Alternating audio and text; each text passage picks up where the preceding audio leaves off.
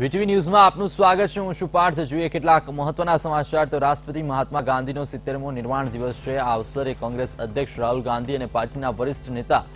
શીલા દીક્ષિત સહિત કોંગ્રેસના નેતાઓ રાજઘાટ પહોંચ્યા હતા અને ત્યાં તેમણે મહાત્મા ગાંધીને શ્રદ્ધાંજલિ અર્પણ કરી હતી આ દિવસને શહીદી દિવસ તરીકે પણ ઉજવામાં આવે છે આજના દિવસે શહીદોઓને પણ યાદ કરવામાં આવે છે જેમણે ભારતને આઝાદ કરાવવા માટે પોતાનું બલિદાન આપી દીધું હતું